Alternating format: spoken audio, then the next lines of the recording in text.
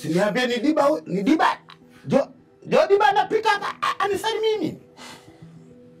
Lusaja ngula luse huyu ni Diba naye anapita anisalimii mimi. jo diba Utegombwa. Niliyemfuata mimi nimepanda mabasi kutoka Mbeya kuja kumfuata mtoto ajaoa nifike nini hapa kama mgomba nini?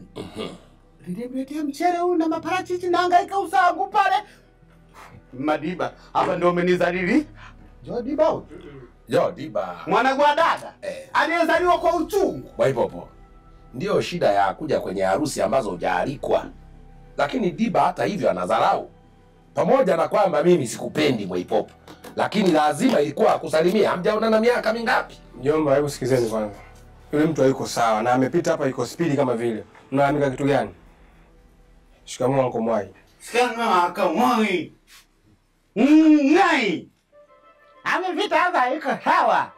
Mkutuvika tulivana vinenu so mlitufanya watoto wadogo.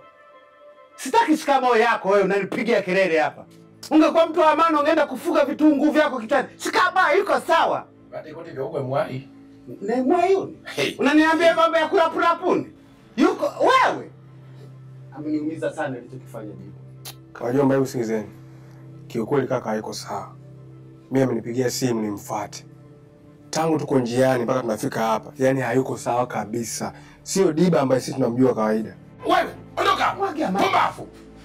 Nile toka Chichi. We, eh, Chichi, nimefika babaya baba, niko babaya, niko babaya, ndibu climax, niko babaya, toka Kaka yangu hayuko sawa. toka. Kaka yako ni mtoto wa dada yangu. Ulikuweko wewe wakati mimi wazazi wetu wanatuzaa sisi? Ulikuweko wewe? Toka kavutie bangi huko, pumbafu. Baba yao ndo amewarisisha tabia za alikuwa mjinga kabisa we, na dada naye si alikatazwa kabisa kuolewa na baba Diba. Hey, Mwaipopo, hatuwezi kukaa hapa, twende huko kwa chungani. Pumbafu. Tufanye sisi wajinga, wanatufanya sisi sasa ni wake Twende, twende, twende.